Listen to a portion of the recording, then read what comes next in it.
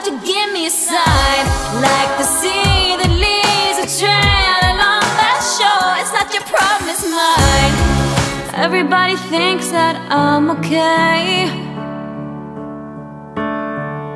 Sometimes I think I am too.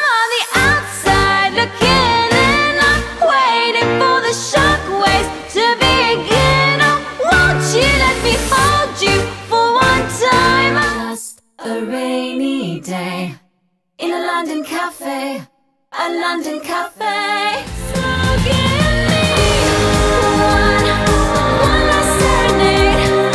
Say to me, or swear me till night turns into day. It was a shame when daylight faded because we didn't notice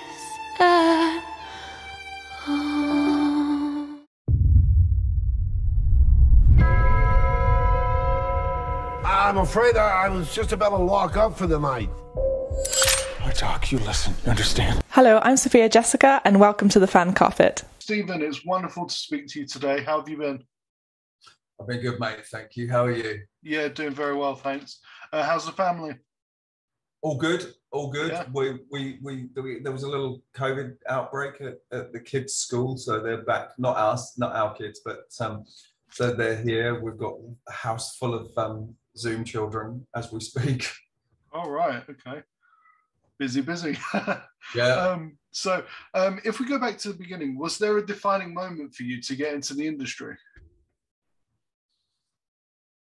Um, I don't know if I don't. I don't know if I can say defining. I, re- I did a play at school when I was about eleven, Uh huh. and uh, and loved it. And then from then on, kept playing sort of big parts in school plays, and and and then I but I do remember, and then I sort of joined theatre groups because I was really enjoying it, and um, and then I do remember.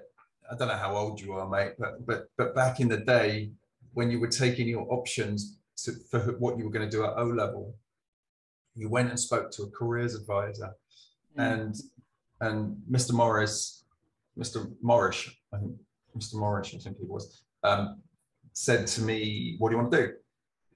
And I said, "I think I want to act." And it was the first time that anybody at our school had asked him that, and he didn't know what to do. He didn't know what to say. He didn't know like back then. We're talking 35 years ago, longer than that. Um, he he didn't have anything there like for him to be able to sort of turn to and go okay this is what you do and um but I, I remember that was probably the first time I'd ever said it out loud to a person of like power. Right. Okay. Um, okay. I, I would have been about 14, I think. Awesome. Awesome. Um, so, what was it about Confession that made you want to be a part of it? And what can you tell us about your about uh, Victor Strong? Dave Beton, who I've always known as as Ronnie Thompson, um, writer director, um, is a friend, and we, we we get on really well. And we were in the middle of the first lockdown, uh, and and pretty much like now, in fact, we were Mm. doing homeschool with the kids, and who'd have thought we'd still be doing that two years on, and um, and he he got in touch with me and he said, um, "I've written something. I'm writing something. It's for you. I think it's really, I think it's interesting, and uh, and I, I want you to have a look at it." And uh, and obviously, one of the things that that people have been doing, and this makes complete sense, obviously, is you're looking at during this this last 18 months, two years, people have been looking to do things that are in one or two locations, Mhm. small cast, uh, able to do with the smallest crew possible, um, and in a sort of truncated amount of time, so that the the risk of exposure is is very low.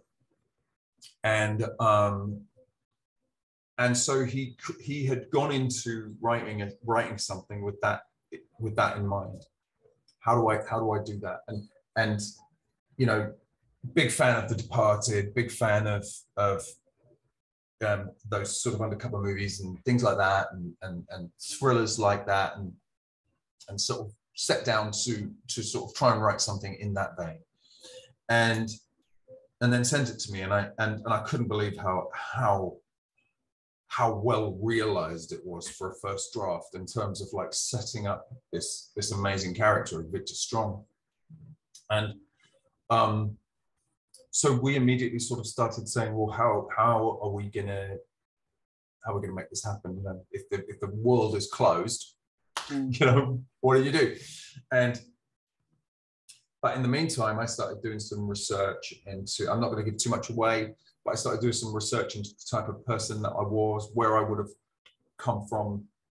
Um, the movie's set in Boston, so whilst we were setting up, I went, I, I did quite a lot of uh, research into you know, where he would grown up, where he would gone to school, how he would have become what he'd become, what what had led him to all of these things, which was really interesting for me because obviously one of the joys of one of the joys of lockdown was that you had loads of time on your hands to do things like that and go down internet rabbit holes. Um, so that was really fun and and and Colm was at the top of our list when we first started trying to find Father Peter.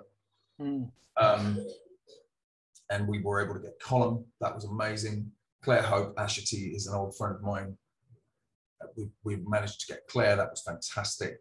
So, so all of those things, it was a great confluence of sort of everything coming together as it as we were about to shoot. And it, you know, we shot it in 12 days, and that is, and it's a it's there's a lot of dialogue. There, there was a lot of twists and turns, and and I thought Dave did an amazing job of creating, you know, as we've already said, it's one location, so you have to be really sort of clever in how you shoot that without Mm. it sort of feeling like you're just stuck. Yeah. Uh, it's, it's set in a church, which immediately means you've got the sort of whole church, you've got the nave, you've got the, the vestry, you've got um, different portions of the church to be able to use, and ha- doing so and utilizing it in a way that you can sort of, because it's a thriller, um, keeping those, uh, keeping all those moments alive, as well as the important things of exposition and telling the stories of who these people are. You know. Absolutely. Um, now, you mentioned it before, but how was it to work with the legendary Colm Meaney? just lovely. Um, it's just a great bloke, and um, we got on so well. Really loved each other, and and and because it was lockdown and because everywhere was closed, all restaurants were closed, hotels were closed. We was we were living in on on a closed golf course in a sort of little country club, and we had these little wooden cabins next to each other, and um, and that was really nice because we were able to eat together, prep together, work out what we were doing the next day, what we were trying to achieve with the scenes, stuff like that, and and go through the lines. And because there were there were many lines, it's basically two people in a room talking about their lives, and so it was brilliant. And when you when you've only got twelve days to do that, you know I've said this already, but it, like one of the amazing things about I'd come straight from a job in Bulgaria and and I got to London um, uh, for 10 days because I had to quarantine. And when I got to when I got to London, it, it's it's a dream for an actor to sort of be locked in a room with a script. Uh, most people are like, "Oh my god, you've got to be on your own for 10 days in a room." It's like actually it's perfect for an actor because you I just literally studied the script and worked and worked and worked and and had a dear friend of mine who's a dialect coach working on on on my accent and just doing all of that research that ordinarily children and other bits of work and other stuff and life get in the way. So Mm. in terms of prep, it's it it for, for these things I've got coming out, it was a joy because having five days by ten days by yourself in a hotel room to learn the lines is unexpected. Absolutely.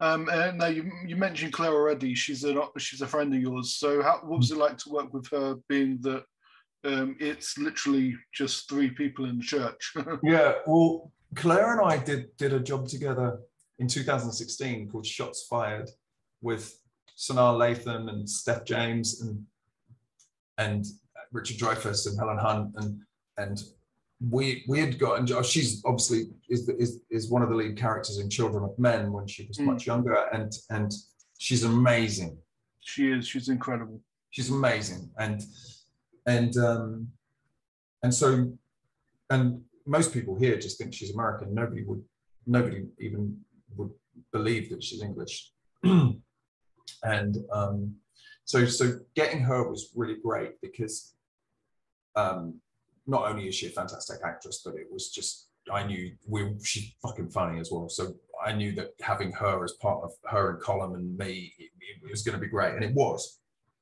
and a lot of fun. Um, but she's also brilliant. So it was lovely because because once you're like once we're up and running and we're working, um, we all stayed in our accent the whole time, which is quite important. Even so, even though obviously Colm's Irish and the two of us are British, staying in your accent is very helpful. And when you've got a couple of other actors who are prepared to do that around you, it's really helpful. Um, if if the um, because it's because sometimes when you're working with an English crew, you want to sort of be part of the gang and chatting away with your with, with friends and and and but but staying in accent is is really sort of key so it doesn't drop and having the other two doing that was was awesome Mm. so just having clare there as a mate and being brilliant as she is it was just it, it, it was lovely to sort of connect with her again Wonderful. Um, and obviously the talent doesn't stop there because you've got David Dave Beton behind the behind the scenes uh, writing and directing. So what was that experience like? Well, we had we had got together. He had. I, I was, in fact, was it that job? I think it was that job. I think it was when I was doing shots fired. Actually, I was in North Carolina, and Larry Lamb's a dear friend of mine, and Larry was doing um, Larry was doing this Hatton Garden job, and um, he texted me and said, "Do you want to come and do a couple of days in in London?" on a, on a, on a fun little project I'm doing. I said, I can't, I'm in North Carolina. And he said, they'll, they'll work out this, the, your dates around your North Carolina dates. And I was like, okay. He said, there's one thing that, that, that might turn it. Your character will be filming in Upton Park in at West Ham. And I'm a massive West Ham supporter. And Upton Park was about to be knocked down. So I end up on the phone with David, who who actually directed that movie as Ronnie Thompson, because that was his writing name.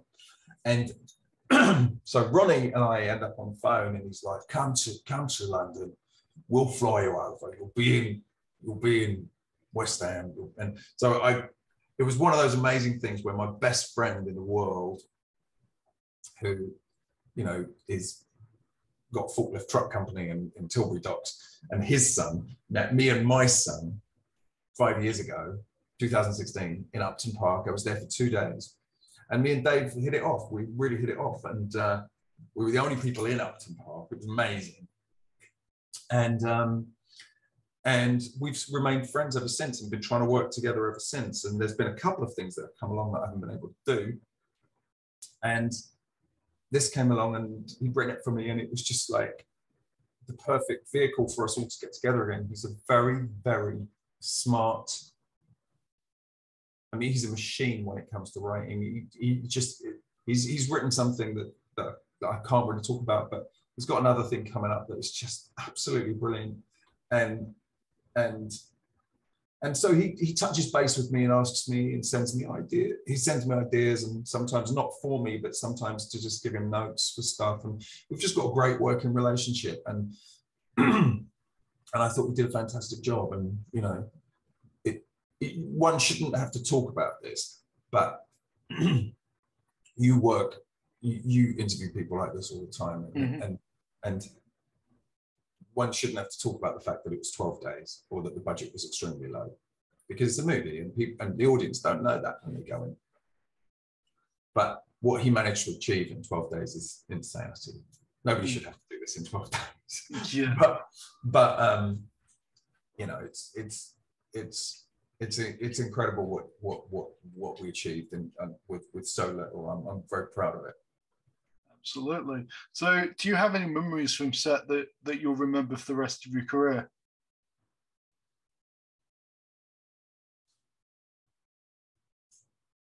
I mean, this is very silly, but it was bloody cold, and uh, and Colm lights a cigarette, and and there was a sequence where where we were in it, and you know we were doing our stuff, and and and and Colm's smoking a cigarette, and he and usually on on on set people use on because you're having to do it over and over and over again, and you've got the same continuity, and you're having to cut you cut the, the cigarette down to where it was when you last shot that scene. and Blah, blah, blah.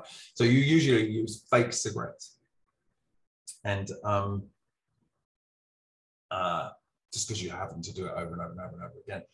Colm didn't, and then what was so amazing, we did like we did one of these sequences like 15, 20 times where where he's he's smoking the cigarette all the way through, and then as soon as there was a break, he'd go outside and have a cigarette in the outside the church, and I'd go and stand with him, and uh, and I don't smoke anymore, and um, but it just really tickled me.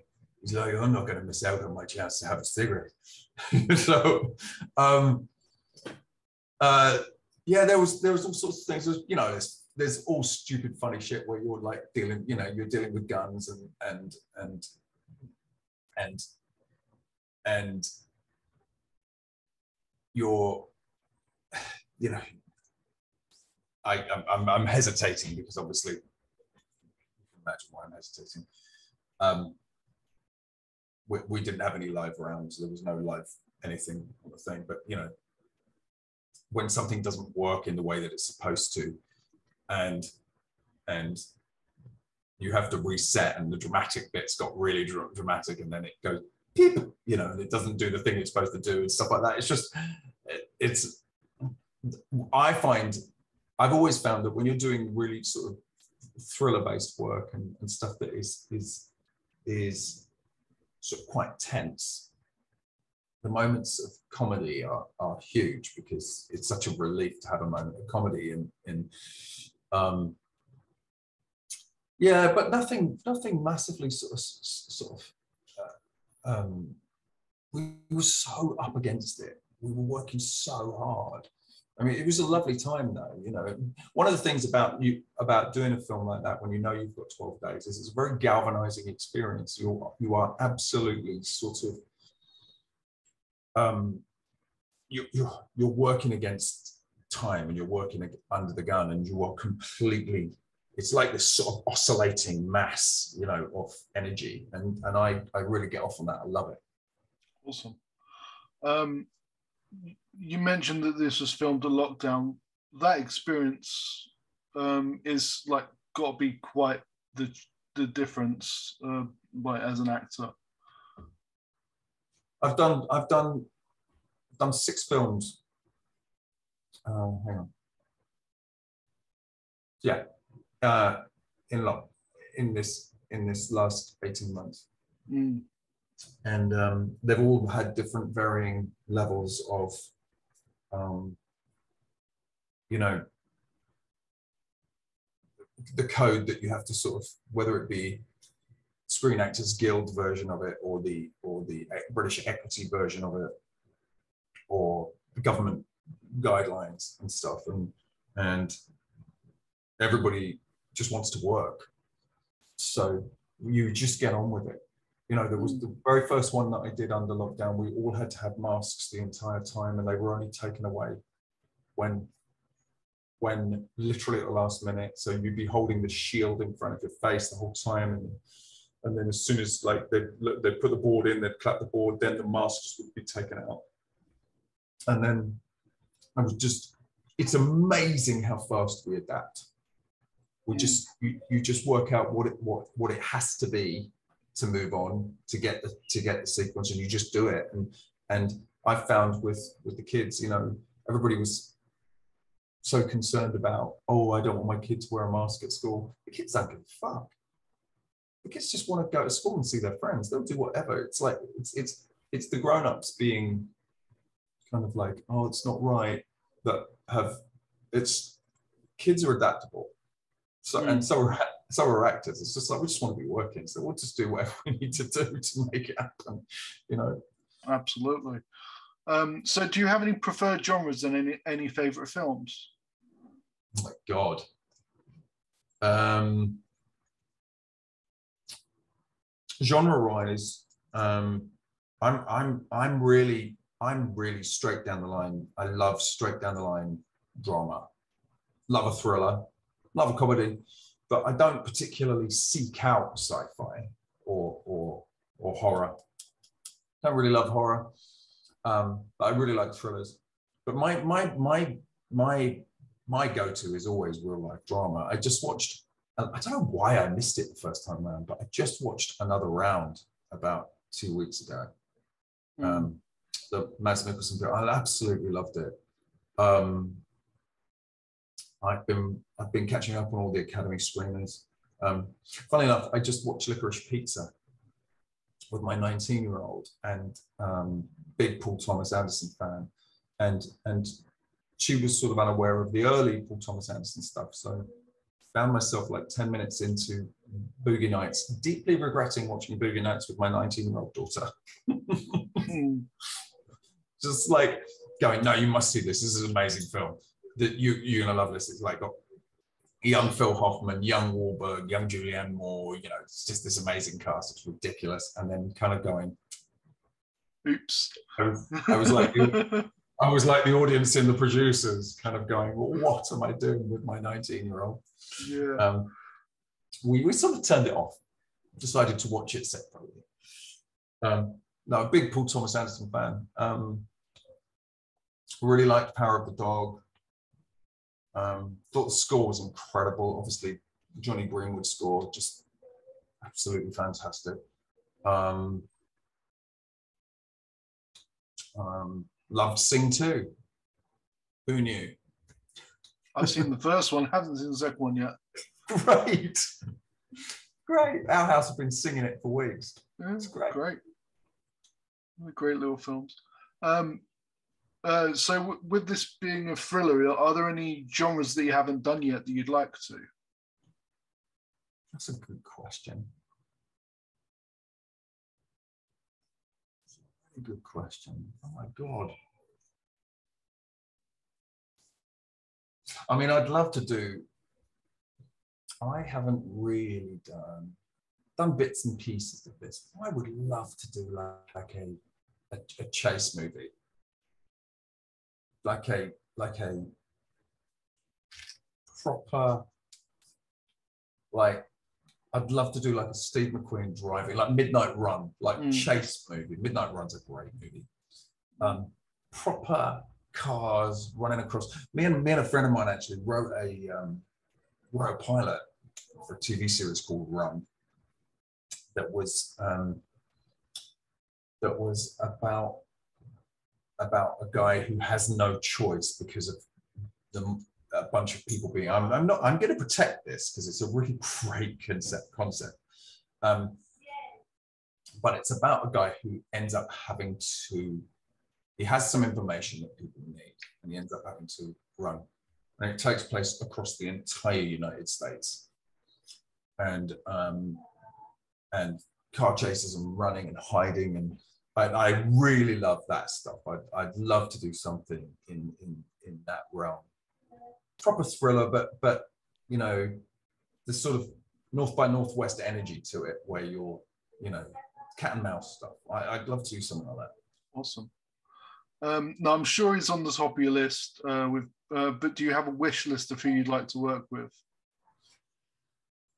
Always, but but you know, having just I really loved Licorice Pizza, and I, and Tom Waits is my big hero. So seeing Tom Waits, I mean, some working with uh, Dream World, doing a Paul Thomas Anderson film opposite Tom Waits would be would be like right right up there. Um, uh, you know, and obviously, uh, just was really sort of taken by the mood and the power of, of, of Power of the Dog. Um, Jane Campion's amazing. Obviously, worked with Anna. Mhm. expect- They've they've talked about working together again at some point, and um, you know, she, she's amazing. There's so many. Um, Wong Kar Wai is a big um, favorite of mine. I it's there's just so many. There's, there's so many. I'd love to work with Andrea Arnold. You know, I think she's incredible. Mm, cheers. Um, Lynne Ramsay too. You know, it's it, I could go on and on. There's hundreds. Mm, yeah, there are. Sport for choice. Uh, um, if it was only that easy. yeah. Uh, well, it's it's great to have that the that um that Dream. that pool of, uh, available to you is wonderful. Um, so, uh, with the popularity of streaming services like Netflix, what do you think the future of cinema is? I think that's a really interesting question, and I think it's evolving all the time. The one thing that, that is important about about Netflix, and I think, and Amazon, and what they've actually managed to be able to do is, you know, there's 400, 500 hours of, of, of television being made, whereas, you know, and I'm talking television series as opposed to um, as opposed to hours of television. I'm talking about 400, 500 different projects. And what's that? What's amazing about that is they're not all brilliant, of course, but it means that our our business is thriving. You know, England is busier than it's ever been in the history of of the business. Mm, There's five different new studios being built in England. This is this is this is all good because young filmmakers, young directors, young writers, you know, equality between male and female, people of color coming through. It's just it's just brilliant. You know, I love independent cinema. So the the, the as, as I think one, thing that would be amazing is for for those big companies to sort of channel 15 20% of, of their you know all these films that we that i'm talking about we we you know we've been i've been doing a million dollar movies or million dollar or under movies and um and some by a long way and you know having the opportunity to do that and give give people coming out of college and young people the chance to do films like that at that budget would be amazing. And uh, so I can I can only see this being good for the business. And and yeah, I love going to the cinema, of course, but um, but just the fact that these things are being made is is is awesome. So I I am not pessimistic about the future of film. Um, obviously, you don't have to worry about the future of television because television's just like is 85 it's 85% of the business now, but Mm, just I, I hope they still keep making I hope those companies invest in young, interesting, independent drama, sci-fi, you know, kids who, who are who are wanting to change things up. absolutely. Yeah, and long may it continue. Uh, ju- uh, just before you go, um, you've got a couple of very exciting projects coming up, coming out soon. Uh, Yeah. What can you tell us about Last Survivors with the incredible Alicia Silverstone and Code of Ju- and Code of Silence uh, with Ben Mole? Well, Code of Silence was was just again 14 days, lovely. Managed to get a few friends of mine in that, which was really nice. Again, super low budget, and calling up friends, going, "Can you come and give us two days? Can you give us four days? Can you give us a day here? Can you, you know?" And Mike Higgs is a, one of my old oldest friends, best friends. Um, Alec Newman, Ian Sharp, Max Roxley. They're really good in that film. It's a really really, really good little film about uh, Nipper Read, who I play. I'm, I'm, I'm really proud of it. It's, I think it's a really good little film. And, and, you know, I didn't necessarily think there needed to be a film made about the Krays again. Not that they're not an interesting story, obviously, but it's been done a lot. Mm, So I thought it was really, really cool to do it from Nipper's point of view, and I really enjoyed playing that character. That's out now. Last Survivors is a really cool little thriller, three-hander again, made in Montana with Alicia Silverstone and Drew Van Acker. Um, I'm brilliantly directed by Drew Mylrea, um, wonderfully shot, and uh, you know, excellent producers, and that comes out on February the fourth. And again, I literally left Confession um, last year, went straight from Confession, uh, sorry, end of 2019, and uh, sorry, no, is that right? 2022, isn't it? No, the end of 2020. Oh my god, um, Yeah, time's just gone. Um, absolutely. end of 2020. Um, finished confession, went and sat in a hotel room for a week, learned my lines in Montana, and went and shot this. And, and and it's a really classy little thriller. Really happy with it. Alicia was great. Uh, Drew's amazing, and again, really smart use of few locations. Um, great story, beautifully told, amazing music. It's just, it's just, um, I really recommend it. I think it's a cracking little, cracking little film. Awesome. We'll look forward to those. Um, and just finally, where can we find you online to keep up with everything you're doing? I am quite rarely on Twitter, but um, on Twitter I'm on uh, I'm S Moyer, and on Insta I'm at Stephen Moyer. But um, uh, the other thing that I've been doing is I directed a film this year with um, Anna Paquin, my wife, playing the lead, and Ray Winstone playing her dad. And um, we're just locking that right now. Just locked it. Uh, well, no, I'm about three days away from locking it. My ed- edit suite is that. See that window over there? Yeah, yeah. The other side of that. That's my edit suite. And um, nice. next to the guitar. And um, yeah, very close to locking it. And then we'll be going into the dub and the mix. And um, my friend Nathan Barr is writing the music. He did the music for the first film that I directed, and he did True Blood, and he did The Americans, American Horror Story, does all the Eli Roth movies. Um, dear friend and excellent, and I'm really excited about that. He's just literally just started writing music this week. I sent him the cut last week. So I'm really excited about that. We'll be going to festivals in I was just about to say in the new year, but I'm in the fucking new year. I can't believe it. Hmm. Uh, yeah, so we'll be going to festivals like in the next month or two with that, and you know, hopefully we'll be able to keep you posted, or it'll be announced. Hopefully, we'll get in somewhere. That's awesome. Uh, do you know what it's called yet? It's called a bit of light. Nice. We'll look out for that one. Well, Yeah. Stephen, it's been absolutely amazing to speak to you. Thank you so Thank you, much.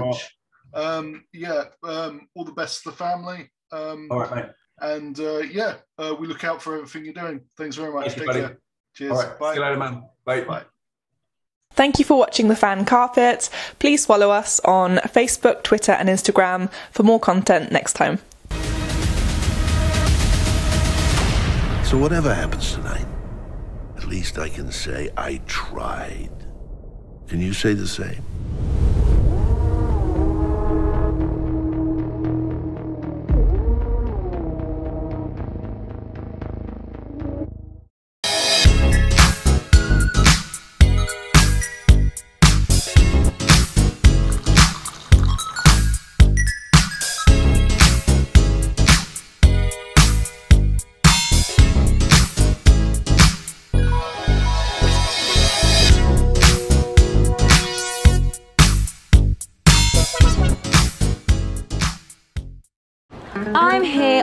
Largest of the Balearic Islands, Mallorca, with the turquoise waters of the Mediterranean Sea, beautiful mountainous landscape, the thriving city of Palma, quaint little market towns, a growing number of luxury hotels. It's no surprise that the likes of Audrey Hepburn and Elizabeth Taylor like to holiday here. So come and join me as I take you round Mallorca.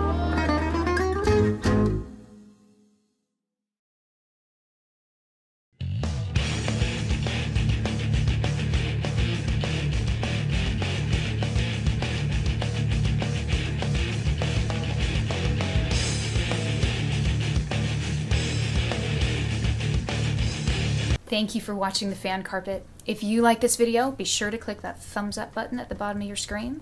And also be sure to subscribe to the fan carpet YouTube channels. They're absolutely free and so much fun too. Be sure to check out the official website, thefancarpet.com. Also, you can follow us on Facebook, Twitter, and Instagram to stay up to date with reviews, competitions, the latest news, and so much more.